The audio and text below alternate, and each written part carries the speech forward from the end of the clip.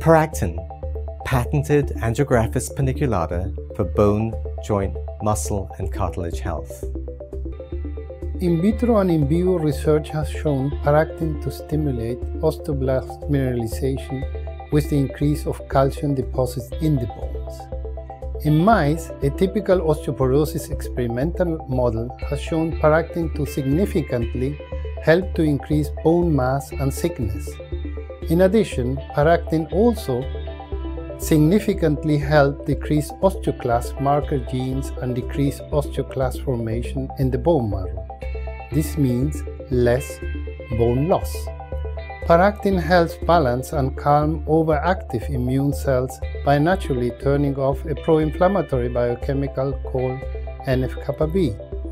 This is the master inflammation switch that can help turn off the overexpression of inflammation response in joint tissue and to a certain extent muscle aches and pain from overuse or overexertion of exercise.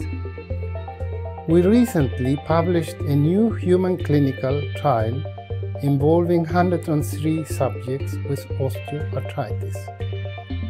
Paractin significantly helped reduce WOMAC pain score, stiffness score, reduced fatigue, improved physical function score, and also quality of life. Paractin also helped promote muscle health and aids in recovery making it ideal for those engaged in regular fitness routine, hard labor, or athletic participation.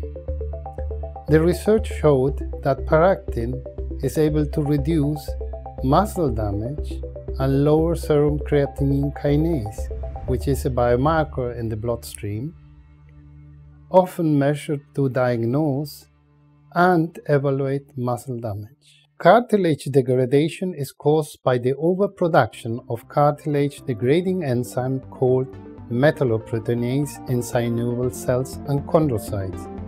This leads to loss of cartilage matrix such as aggrecan, hyaluronidase, and collagen. In vitro research showed that Paractin helps to support healthy cartilage by suppressing the cartilage degrading enzymes metalloproteinase and may help prevent the loss of hyaluronidase and sulfatated glycosamine glycans, increased collagen, and uronic acid that are all essential for healthy cartilage function.